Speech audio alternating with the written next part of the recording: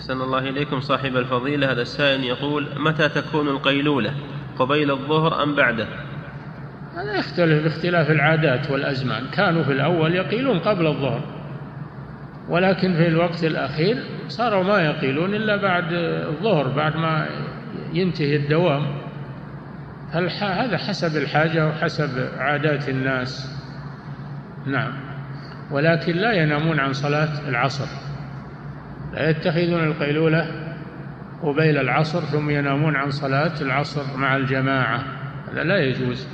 يصلي مع الجماعة ثم ينام إن شاء. نعم.